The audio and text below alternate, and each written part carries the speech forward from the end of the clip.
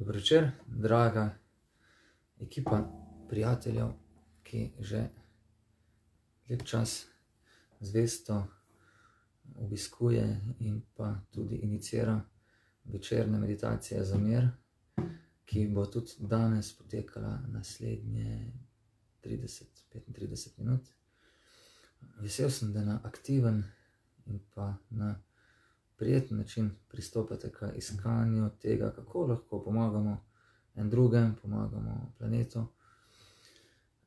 Moč misli, moč zvoka, še posebej ima izredno veliko moč v obliki tega, da lahko vplivamo na dogajanje, ki se dogaja okrog nas po svetu. Včasih so celo pa, recimo, leta, tisočletja nazaj, imeli določeni mojstri takšno moč, da so bili sposobni preprosto z izgovarjanjem določenih manter priklicati ali zelo ugodne, ali pa tudi obratno, ne, drugačne principe. Zato se opisuje, da je meditacija, še posebej glasbena meditacija. Danes bom par manter tudi z vašo pomočjo zapel, v roki imam kitaro. Ne vem, če veste, kako je kitara prva nastala. En gospod je hodil po poti, pa vidi eno bučo, ogromno bučo. Pa si misli, neč, mogoče mi bo tole, ki je prav prišel, zagrabi, gre naprej, hodi nekaj časa. Pride do enega ovinka, na ovinku vidi tako palco, dolgo, debelo, gleda se na čudi, kako je mi bo to prav prišlo, že vem, kol ne veš, zagrabi, gre s palco naprej. Hodi še malo naprej, pride do ene take žice, zajle, ne, oziroma dve, tri žice so bile, recimo. Pa neč zagrabi, da vidimo, kaj to notle ob cesti ležali, brez veze, ne. No, ko ljudje so obnašali kar mečene stvari, vse posod, dajmo biti. In je, vesel sem, da vas je spet veliko se povezalo na ta večer. zelo priporočam, ustvarite si tak ambient prijeten, jaz imam tukaj zraven dišečo palčko, prižgano svečke, čajne, poleg, zrači se stalno prostor. Uh, Našteval sem se tako, da mi nič ne manjka, in prepustiš ne, se glasbi, družbi dobri. In zvečer ta gospod pride do enega mesta, kjer je počival, počakal naslednji dan, pa pogleda malo, kaj je čez dan nabral, se pravi, pa vidi neka buča, pa zajla, ne, tri zajle pa poleg te zajle en tak dolgi štil, malo kombinira, to sem, to tja, to tja. In zanimivo, malo poveže stvari in evo ti, mine par minut, puf, kitara. Kitara, to ni več tista ista, na katero je on delal, ampak je po nasledstvu njegovih učencev. In mantre, beseda mantra v prevodu pomeni nekaj, kar um umiri, nekaj, kar um osvobodi. In pel bom izredno preproste meditacije. Zakaj bom pel, zakaj ne bom tih, ne pa gledal v ekran. Tudi se vsekakor priporočam, vzeti si čas za meditacijo, na to, da se umiriš, probiš izključiti vse, kar okrog tebe seka.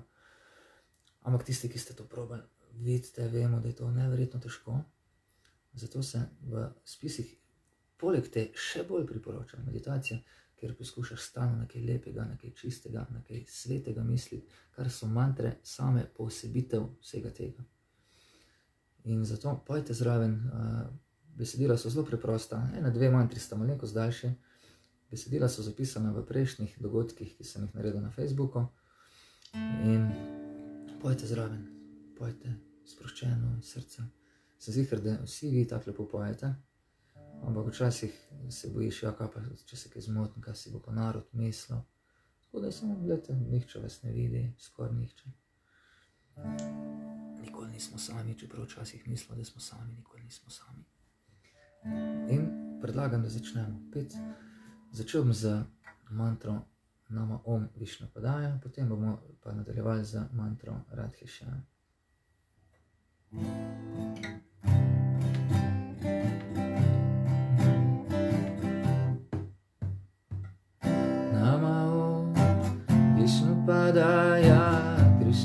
Krishna Prasthaya Bhutale Srimate Bhakti Vedanta Swami Niti Namine Nama Namaste Sarasvate Deve Guravani Pracharine Nirvishesha Shunyavadi Paschatya Deshatarine Shri Krishna Chaitanya Prabhu Nityananda Shri Advaita Gadada Shri Vasari Gaura Bhakta Vrinda Shri Krishna Chaitanya Prabhu Nityananda Shri Advaita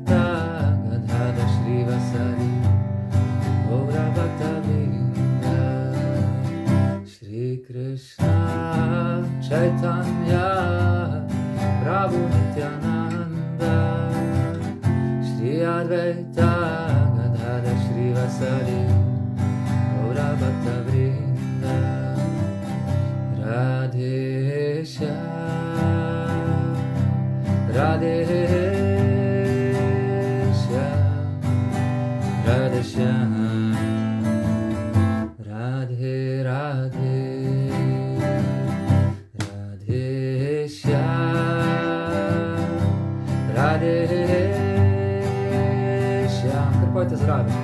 Kardashian.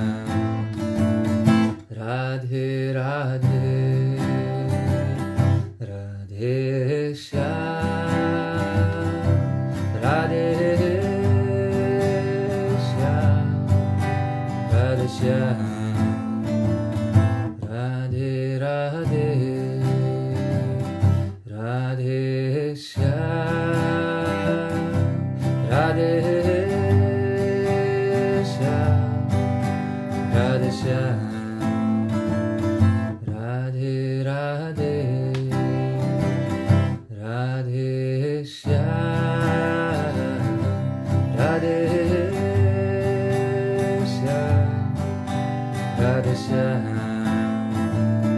Radhe Radhe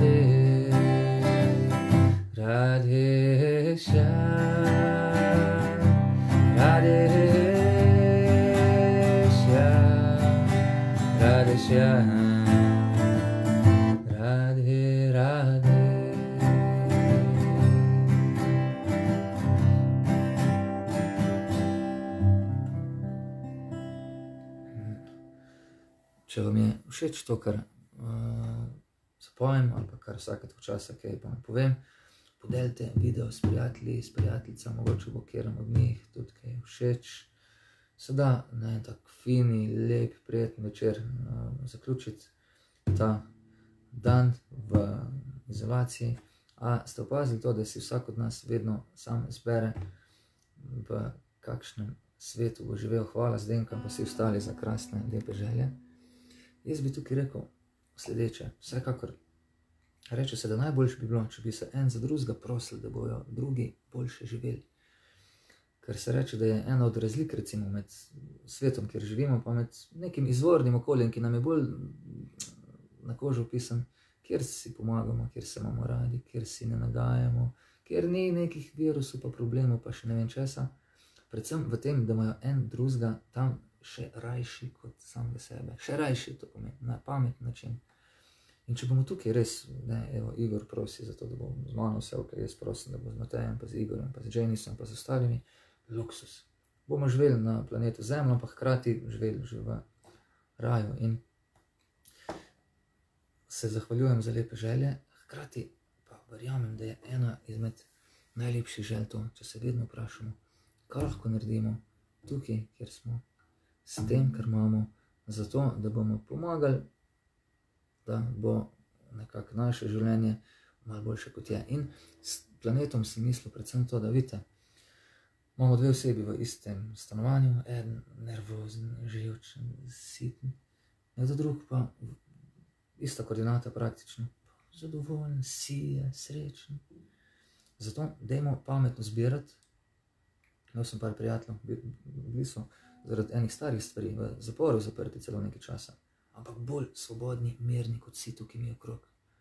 Zato, ker so zelo mirni, pomirjeni za življenjem, aktivno potrpežljivi, hkrati pa točno vejo, poznajo različna področja življenja, kako delovati, kako živeti. Katja, vesel sem, da vam je všeč.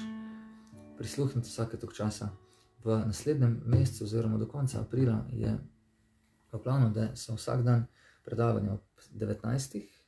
Danes je bilo na temo intuicija, jutri bo na temo, kako ohraniti neko zdravo psihofizično ravnovesje, tudi v dokler se ne bojo stvari spremenile. Občasno bo še zjutraj kakšna lekcija, jutri imamo že ob 8. izbagovati gite, par citatov za diskusirati. In pa vsak večer ob 8. zvečer imam namen tudi par stvari predati in pa zapet mantre. Mantra, naslednja mantra. Če lahko posnamem to pesem, zelo je lepa, lahko jo posnamem bom vam uh, jo naložil na Facebook, celoten današnji video, plus lahko določene radišja, mantra, sitaram, ki vam je nekaterim še posebej blizu.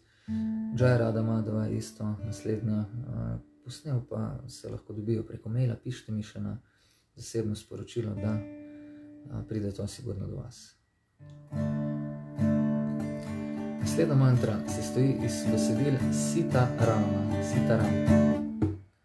Sitarama, Sitarama, Sitarama, Sitarama,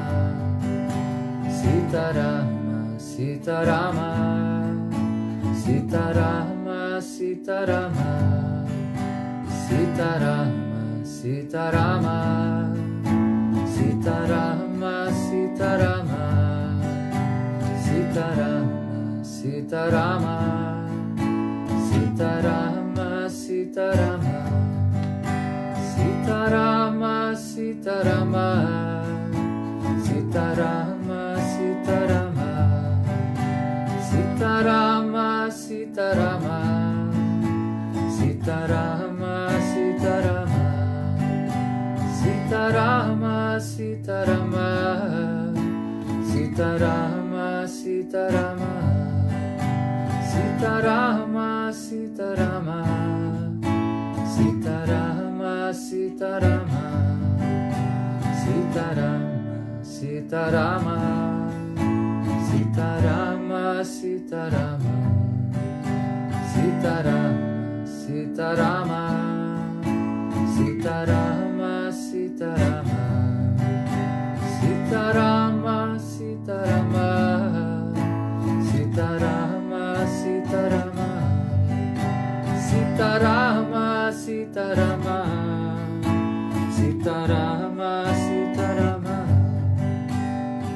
Sitarama, Sitarama, Sitarama, Sitarama, Sitarama, Sitarama, Sitarama, Sitarama, Sitarama, Sitarama, Sitarama, Sitarama, Sitarama, Sitarama,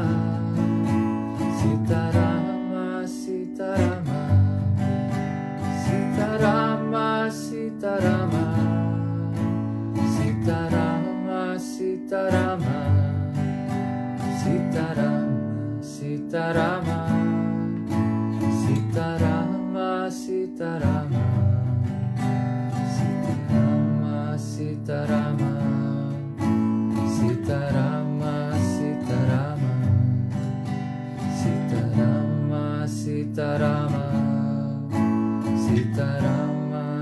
Sitarama.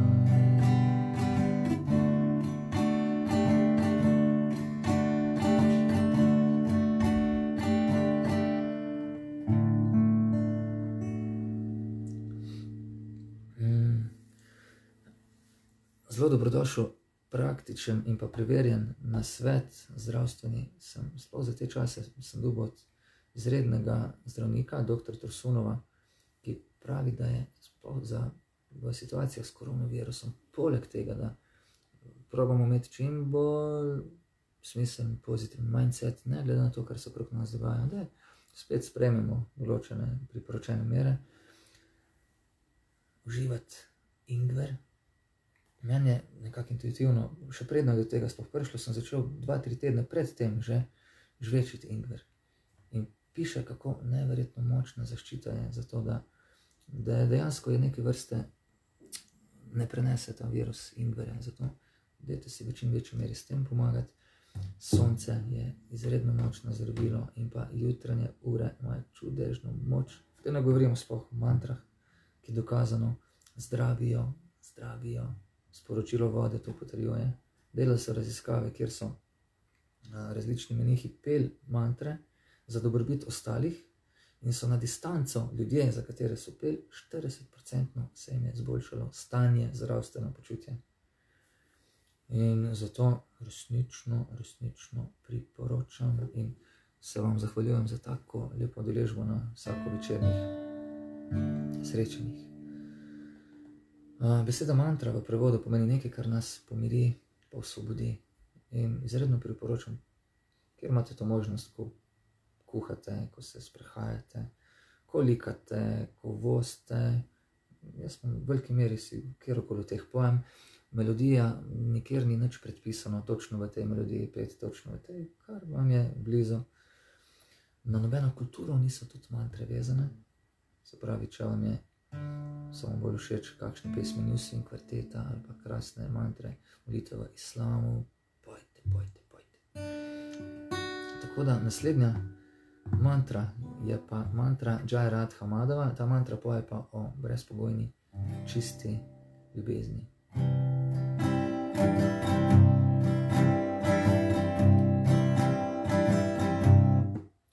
Jayu Radha Madhava Jayu Punjabi Hari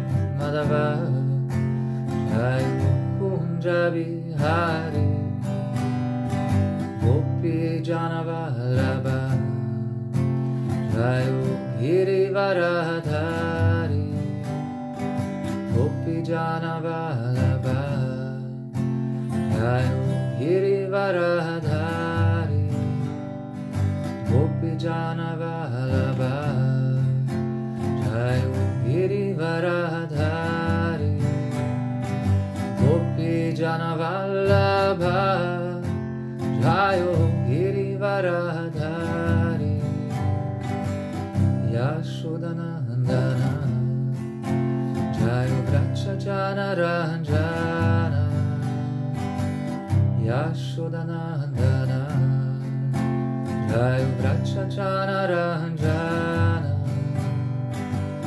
Yashodanandana Jai Vrachachana Ranjana Yashodanandana Jai Vrachachana Ranjana tiravanaciari kunjabi hari. Yamuna tiravanaciari kunjabi hari. Yamuna tiravanaciari kunjabi hari. Yamuna tiravanaciari Jayu Kunjabi Hari Radha Madhava Jayu Kunjabi Hari Gopi Janavalabha Jayu Girivaradhari Yashodanandana Jayu Vrachajana Ranjana Vanachari Jayu Kunjabi Hari Yamunatira Vanachari Jayu Kunjabi Hari Yamunatira Vanachari Jayu Kunjabi Hari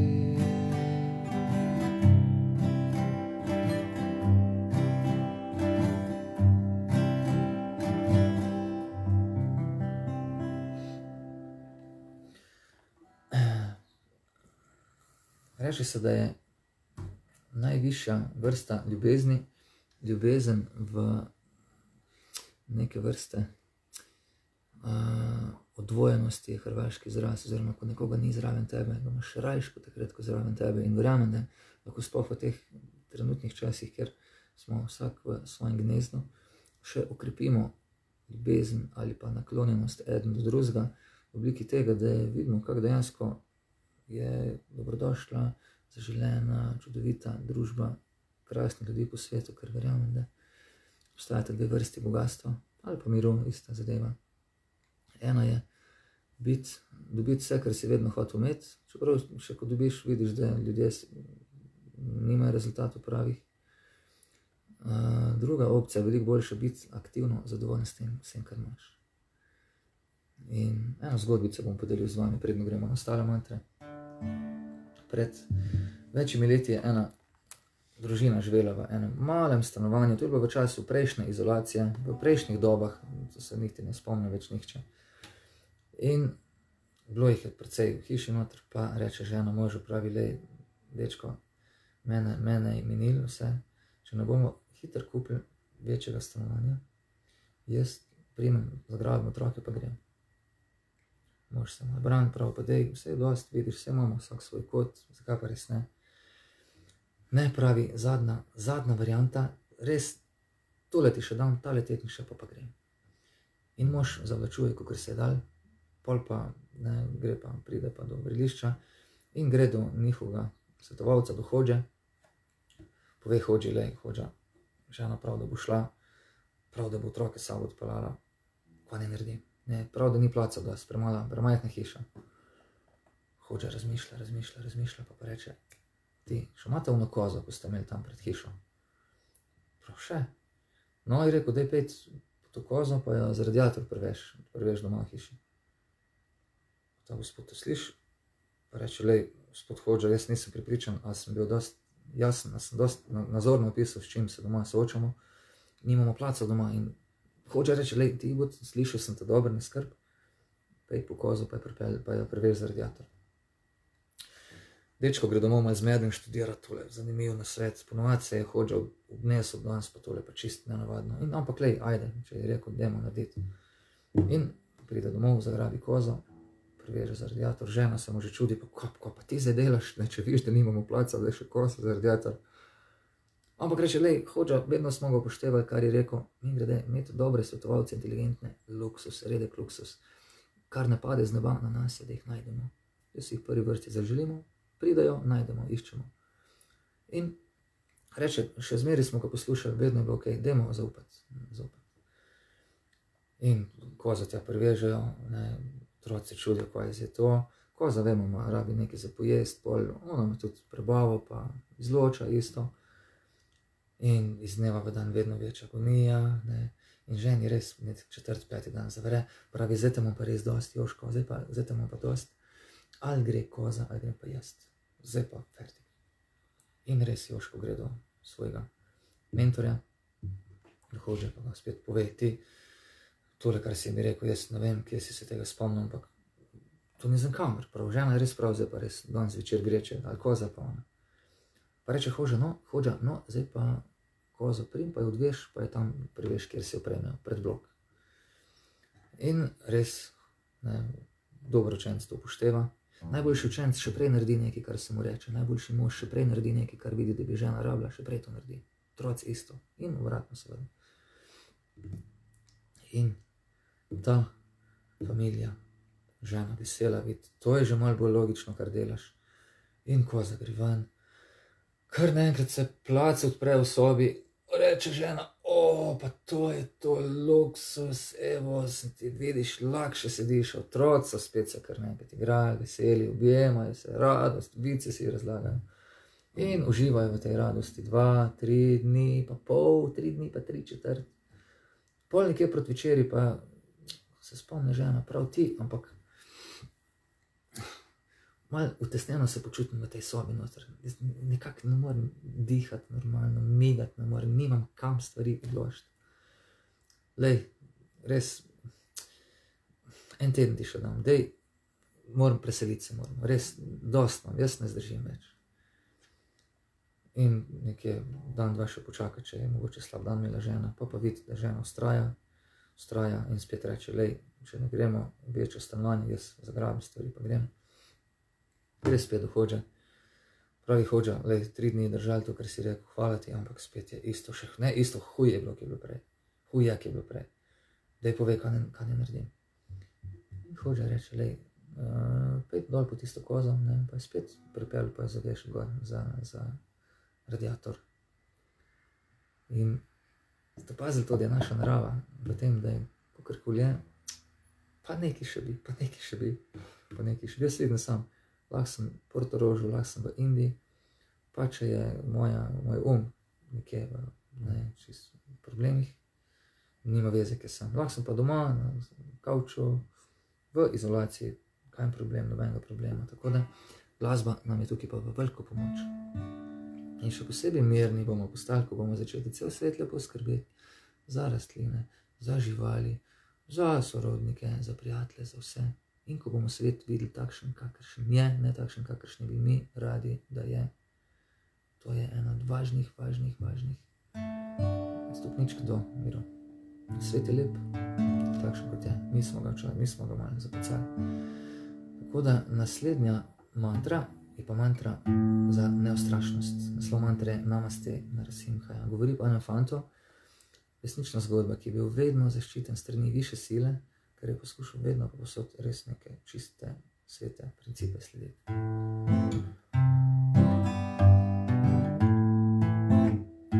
Namaste Narasimhaya Namaste Narasimhaya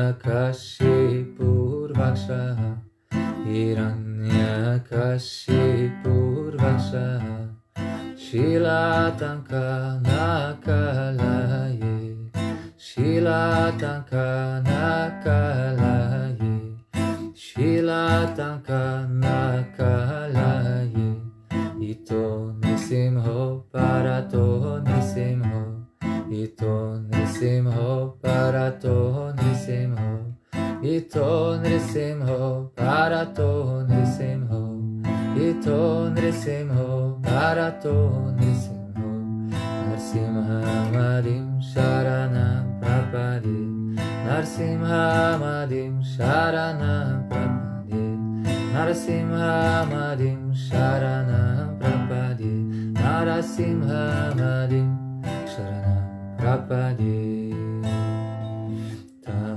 Narakamalavarenaka naka aduta shringe Dalita Hiranyakashipu Tanubringe Keshavadrita Narare Rupai Jai Jagadishare Jai Jagadishare Jai Jagadishare だからかまらばれ仲間とたしりんだ誰たひらにゃかしぽたのぶりんがけしゃばりたなられるじゃじゃがでしゃれじゃじゃがでしゃれじゃじゃがでしゃれ Keshavadrita Narahari Rupa Jai Jagadishare Jai Jagadishare Jai Jagadishare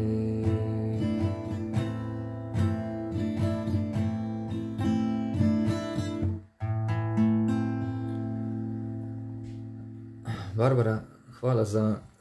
Tá. Kompliment. Vesel sem, da so vam mantre smiselne, zato se tudi delijo na, in na YouTubu vsak naslednji dan, in na Facebooku jih pustim na zidu, tako da če vam je ta vsaj približno všeč ta glasba, pojte, včeraj mi je ena gospodična pisala in poslala slike, kjer pravi, sin stalno poje, rade šjam, rade, rade, rade, rade. In uh, zjutraj bom imel ob 8. še eno predavanje, jutri, plus zvečer, klasično, vsak večer ob, ob 19. In pa jutri je še izjemoma ob 17. predavanje, posebej za mlade in pa za otroke, nekje 10. Plus. Če imate kazga junaka doma, ki ne najde točno želje, motivacije, okusa, uh, probite ga nekako povabiti k, k ekranu. Tako da bom to mantro, oziroma nekatere izmed njih zapel tudi jutri, predem začnemo predavanje ob 8. isto na YouTube kanalu. Uh, naslednja mantra, ki jo še nismo zagrali, je pa mantra Om Namo Bhagavate Vasudevaya. Om Namo.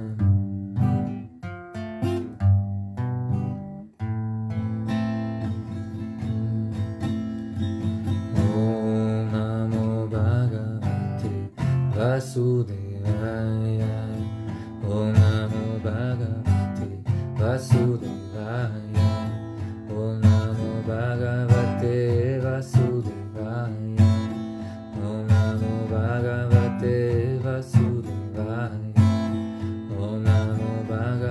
Vasudevaya.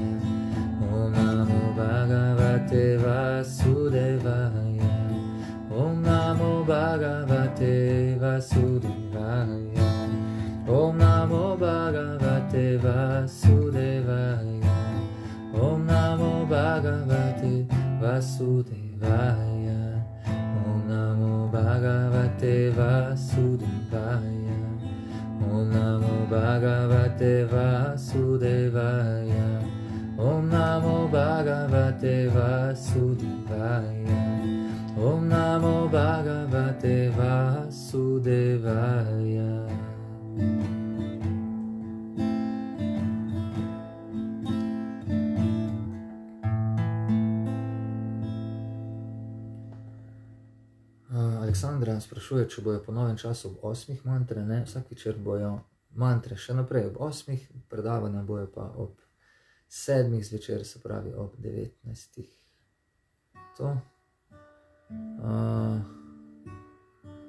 če vam je bila katera od teh mantr, ki sem jih zapel, ekstra všeč, bliz, podelite video prijateljem, kolegom, sorodnikom, pojte čim več sami srca, kjerkoli melodije. In pa, če želite, lahko še prvo, ki jo boste zapisali, če je kjer komu posebej blizu, odpojemo še enkrat na kratko, pol gremo pa vsak v svojo vaser, vaser vago.